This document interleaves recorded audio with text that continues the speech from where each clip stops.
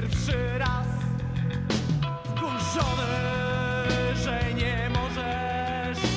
sam napluć sobie